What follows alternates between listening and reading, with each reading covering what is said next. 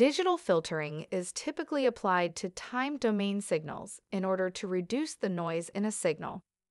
The two classes of digital filters are finite impulse response, or FIR, and infinite impulse response, or IIR.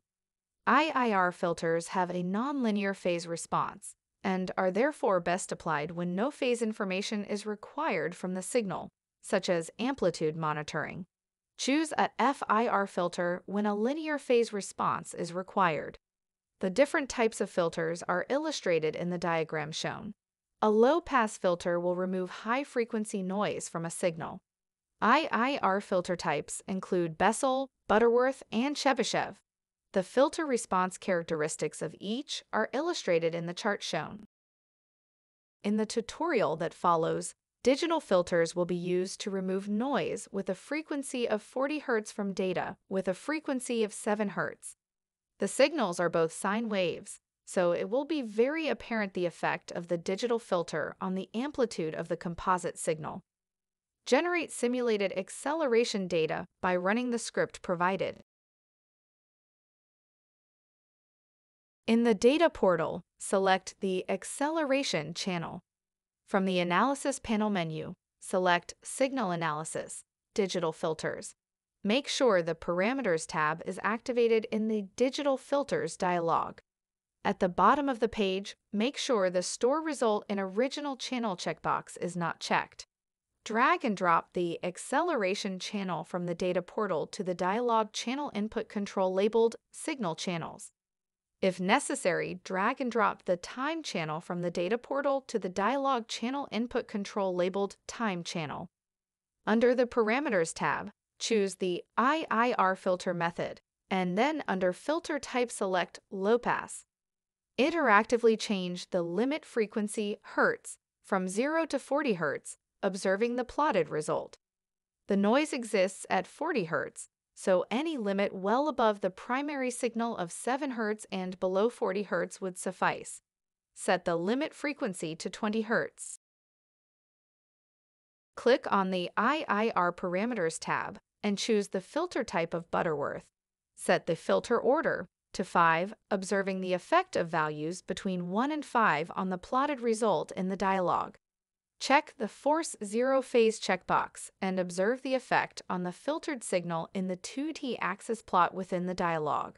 Check the Correct Start Slash End Offset checkbox to make minor corrections to the start and end of the signal. Click the Calculate button to generate a filtered channel named Filtered Signal. Click the Close button to close the dialog.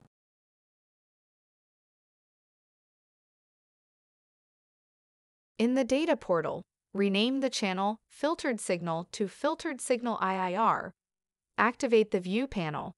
Create a new layout using the menu options File, New. In the View panel Regular Worksheet Partitions group bar, choose the option Three Areas to create three horizontal areas. Select the channel's Time, Acceleration, and Filtered Signal IIR channels in the Data portal in that sequence and then drag and drop them into the top view area. Choose 2D Axis System in the pop-up menu that appears. In the Data portal, click on the Filtered Signal IIR channel and observe that the maximum and minimum values of plus minus 19.7 meters per second squared correspond close to the original generated values of a 7 Hz sine wave with an amplitude of plus and minus 19.6 meters per second squared. Next, we will create another filtered result using the FIR filter option.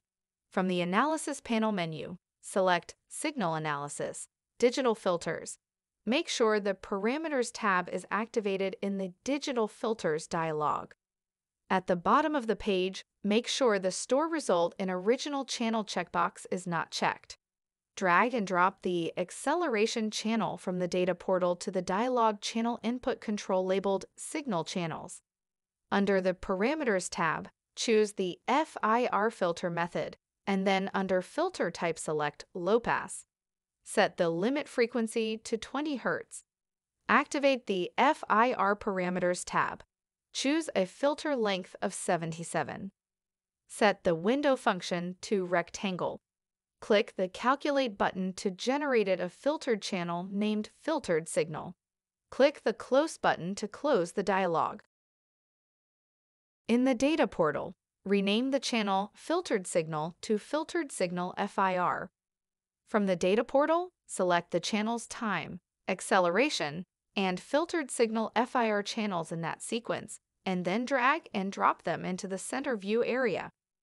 Visually compare the differences between the FIR and IIR filter results. What you learned in this tutorial. Digital filtering can remove noise from a signal. The choice of filter class, type, and other parameters can dramatically influence the effectiveness of the filter. The DIAdem Analysis Panel Digital Filters dialog allows you to interactively explore the best filter options for each unique signal.